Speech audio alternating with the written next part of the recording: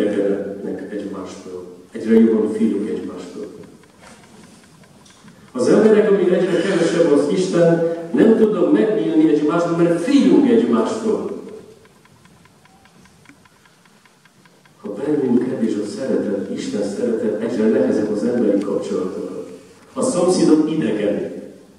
Mert nincs nekem motiváció, hogy szeressem a szomszédot, De ha bennem ül Jézus szív, akkor van egy motiváció, ami teszi engem boldogá, és lehet a szomszédot is rajtam keresztül.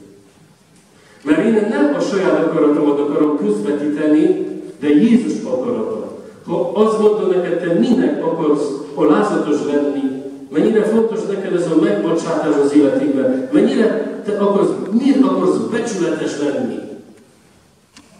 Mert Jézus benned él. És ez az ereje, ami fenntartta a világ történetét. És nézzük meg, hogy maga Jézus meghatározza az emberek életét.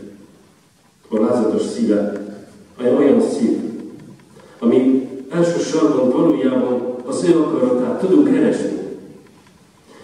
Ahogy